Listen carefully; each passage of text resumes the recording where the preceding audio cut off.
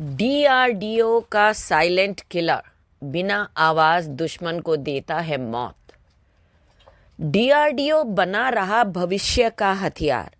नभ, थल और जल तीनों सेनाओं की बनेगा ताकत। घातक इलेक्ट्रोमैग्नेटिक रेलगन, क्या है खासियत? कैसे करती है काम? जानते हैं? जापान भी पहली बार सबसे खतरनाक हथियार की टेस्टिंग कर रहा है और वो है इलेक्ट्रोमैग्नेटिक रेल गन भारतीय सेना ने बीते कुछ वर्षों में अपना पूरा ध्यान भविष्य में होने वाले युद्धों पर केंद्रित किया है। ऐसे में सेना के लिए युद्धक साजो सामान, हथियार भी उसी लिहाज से उपलब्ध कराए जा रहे हैं। इस बीच डीआरडीओ ने भी भविष्य के हथियारों पर काम करना शुरू कर दिया है। खबर है कि डीआरडीओ ने इलेक्ट्रोमैग्नेटिक रेल गन बनाने की तैयारियाँ शुरू कर दी हैं। ये एक ऐसी तोप है जिन्हें भविष्य के लिहाज से तैयार किया जा रहा है, जो 200 किलोमीटर दूरी तक मार कर सकती है। आने वाले समय में यह तोप भारतीय सेना में शामिल होता है तो नभ जल और थल तीनों सेनाओं के लिए यह घातक हथियार होगा। यहाँ मैं ये बताना चाहूँगी कि 1945 में द्वितीय विश्व युद्ध की समाप्ति से हथियारों के विकास में एक नए युग का सूत्रपात हुआ है। बीसवीं सदी के उत्तरार्ध में शीत युद्ध की शुरुआत से एक नए युग का आगमन हुआ, जिसमें टर्बोजेट, टर्बोफैन इंजनों के उपयोग के कारण विमान की गति कई गुना बढ़ गई। बैलिस्टिक मिसाइलों ने लंबी दूरी तक नए पेलोड डिलीवरी वाहनों के विकास को भी प्रेरित किया है। मध्यम दूरी के भूभाग और रडार से बचने वाली क्रूज मिसाइलों की सहायता से सामरिक परमाणु हथियारों की तैनाती ने सामरिक थिएटर स्तरीय युद्ध क्षेत्रों के क्षेत्र में भी एक बड़ी भूमिका निभाई है। अत्याधुनिक निर्देशित तोप खाने प्रणालियों के साथ भारी कवच की व्यापक तैनाती ने आधुनिक युग के इतिहास में एक नया मानदंड स्थापित किया है। जबकि शीत युद्ध के दौरान दो महाशक्तियों, अमेरिका और सोवियत संघ का प्राथमिक ध्यान सामूहिक विनाश के हथियारों और परमाणु और थर्मोन्यूक्लियर हथियारों से लैस भारी अंतर महाद्वीपीय दूरी की बैलिस्टिक मिसाइलों के विकास और परीक्षण पर था, जो पूरे महानगरीय शहरों को नष्ट करने में सक्षम थे। बीसवीं सदी के अंतिम दो दशकों में सटीक प्रहार और उद्देश्य निर्मित हथियारों के विकास पर ध्यान केंद्रित हो गया। चाहे वह रणनीतिक स्तर का युद्ध क्षेत्र हो या सामरिक स्तर का युद्ध, इरादा संघर्ष को लंबे समय तक बढ़ाए बिना जल्द से जल्द आवश्यक उद्देश्यों तक पहुँचने का था। बड़ी हुई मारक क्षमता और सटीकता वाले स्मार्ट हथियार, नई सहस्त्राब्दी की शुरुआत से ही विकास और बड़े पैमाने पर तकनीकी परिवर्तन के दौर से गुजर रहे क्षेत्र बने हुए हैं। पश्चिम में अस्थिर पाकिस्तान और पूर्व और पूर्वोत्तर सीमाओं पर विस्तारवादी चीन का सामना करते हुए भारत को अगली पीढ़ी के स्मार्ट और घातक हथियारों की एक पूरी श्रृंखला के विकास की दिशा में आगे बढ़ना चाहिए। इसीलिए डीआरडीओ बना रहा है भविष्य का यह घातक हथियार। जानकारी के मुताबिक, इस तोप में गोला दागने के लिए बारूद नहीं, बल्कि इलेक्ट्रोमैग्नेटिक फ़ील्ड का इस्तेमाल किया जाएगा। इसको लेकर डीआरडीओ ने विस्तृत रिपोर्ट भी प्रकाशित की है। पुणे स्थित प्रयोगशाला में ए आर डी ई ने इस पर काम शुरू कर दिया है। इस तोप में इलेक्ट्रिक करंट के ज़रिए गतीय ऊर्जा पैदा की जाती है, जो गोले की ध्वनि की रफ्तार से छह से सात गुना ज़्यादा रफ्तार से फेंकेगी।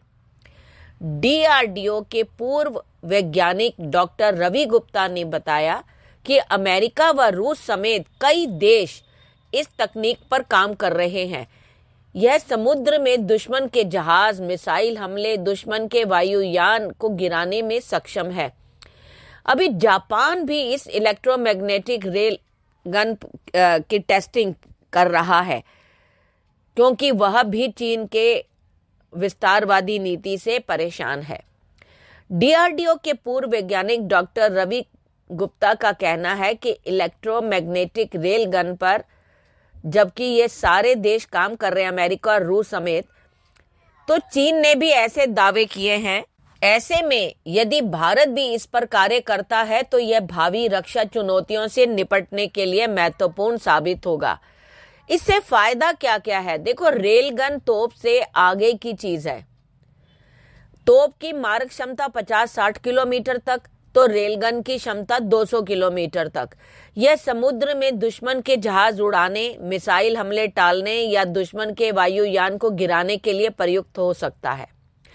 तोप से यह संभव नहीं है। छोटी मिसाइलों से जो काम हो सकते हैं, यह कार्य इससे किए जाएँगे जा सकेंगे। बारूद का इस्तेमाल नहीं होने के कारण लागत में भी कमी आएगी। अब मैं आपको बता दूँ कि इसके अलग अलग वेरिएंट्स पर हो रहा है काम। डीआरडीओ के अधिकारियों ने कहा है कि उन्होंने इलेक्ट्रोमैग्नेटिक रेल गन में 12 मिलीमीटर स्क्वायर बोर की क्षमता वाले वेरिएंट पर काम किया है। आने वाले दिनों में 30 मिलीमीटर वेरिएंट पर काम किया जाएगा। 10 मेगाजूल के कैपेसिटर बैंक के साथ रेलगन को विकसित करने की कोशिश की जाएगी। डीआरडीओ आने वाले दिनों में एक किलोग्राम प्रोजेक्टाइल को 2000 मीटर प्रति सेकंड की रफ्तार से फायर करने की तकनीक पर भी काम किया जाएगा। सेना को इसी हाल में भविष्य के ये हथियार सौंपे जाएँगे। कहा जा रहा है कि रेल गन बन जाने के बाद तोपों का काम घट जाएगा। जैसे कि मैंने बताया, तोपों की मारक क्षमता 50 से 60 किलोमीटर तक है, जबकि रेलगन 200 किलोमीटर तक मार कर सकता है। यानी कि सीमा से काफ़ी दूर बैठकर भी इसका इस्तेमाल दुश्मनों पर किया जा सकता है। इसकी रेंज में पारंपरिक और अत्याधुनिक दोनों तरह के हथियार आ सकते हैं। यह एक तरफ़ जहाँ ज़मीन पर मौजूद ठिकानों को नष्ट कर सकता है तो दूसरी और दुश्मनों के मिसाइल हमलों को भी रोक सकता है। समुद्र में यह युद्ध पोत को निशाना बना सकता है तो आकाश में दुश्मन के हवाई जहाजों को भी नेस्तनाबूद कर सकता है। मतलब आज की तारीख में जिन कामों के लिए छोटी मिसाइलों का प्रयोग किया जा रहा है, भविष्य में रेलगन वो काम करेगा। देखिए, किसी भी जंग को जीतने के लिए सबसे मज़बूत हथियार माने जाते हैं तोप। जिनकी तोपों से ज़्यादा हथियार गोले निकलते हैं। युद्ध में उनकी जीत तय। एक ऐसा भी हथियार है जिसकी मारक क्षमता तोप की तुलना में कहीं ज़्यादा है। तोप की आसमान में क्षमताएँ सीमित होती हैं, लेकिन इलेक्ट्रोमैग्नेटिक रेलगन कहीं भी कुछ भी तबाह करने में सक्षम है।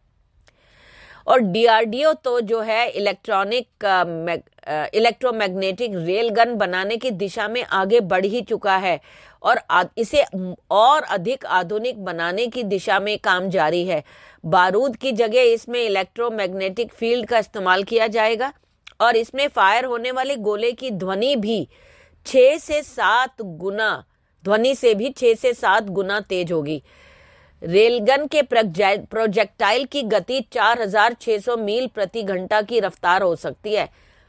यानी कि इस रेलगन दागने के लिए किसी विस्फोटक या प्रणोदक, यानी प्रोपेलेंट्स की ज़रूरत नहीं पड़ती है, बल्कि लेजर और गतिज ऊर्जा, यानी काइनेटिक एनर्जी के ज़रिए उनसे निकलने वाला इलेक्ट्रोमैग्नेटिक फ़ील्ड ही दुश्मन को तबाह करने के लिए काफ़ी है।